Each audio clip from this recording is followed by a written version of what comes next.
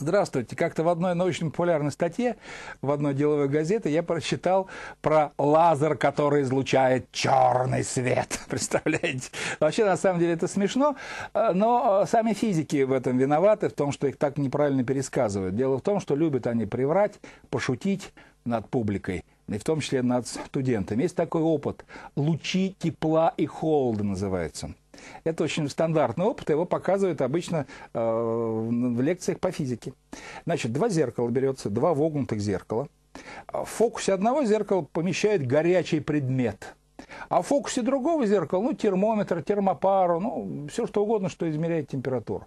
Вот поместили вы в фокус одного зеркала горячий предмет, утюг или там раскаленный какой-нибудь кусочек металла, и сразу температура в фокусе другого зеркала, которое может на другом конце аудитории стоять, вдруг повышается.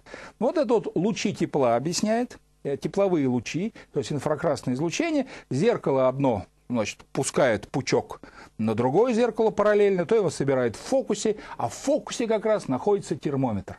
Это вот на верхней картинке красный. А теперь, говорит, посмотрим, говорит лектор, лучи холода. И вынимает, значит, раскаленный гвоздь оттуда, где он был в фокусе, и ставит туда там, ну, кусочек льда или что-нибудь замороженное в жидком азоте.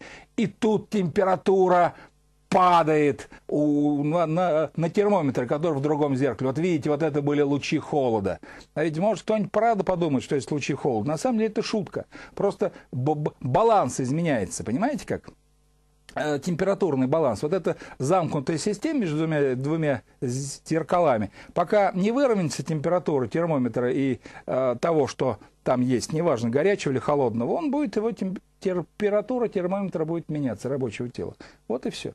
Есть еще слово такое «лампа черного цвета».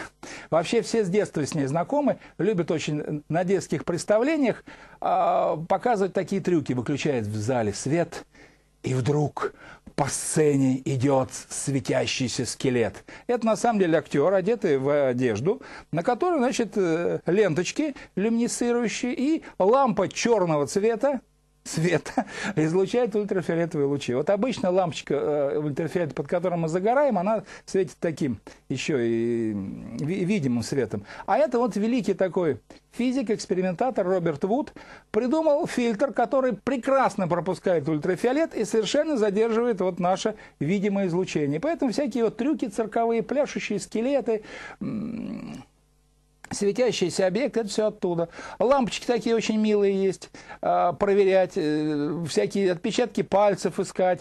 Э, на, на, на купюре, взятку дадут вам кто-нибудь, а на купюре там, значит, невидимой краской написано «взятка». Подходит, значит, понятые «войдите» звучит такой жест, и, значит, фраза, и, значит, проверяет эта вот штучка. Ага, взятка, попались, гражданин товарищ.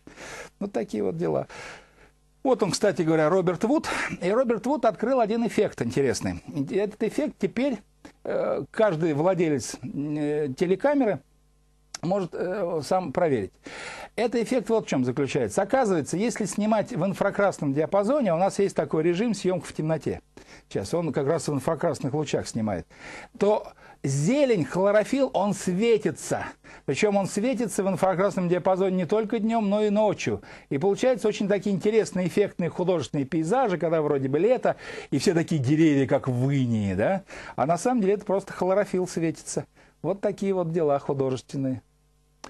Вот. Спасибо вам большое за внимание. Всего вам доброго, до свидания, всех благ.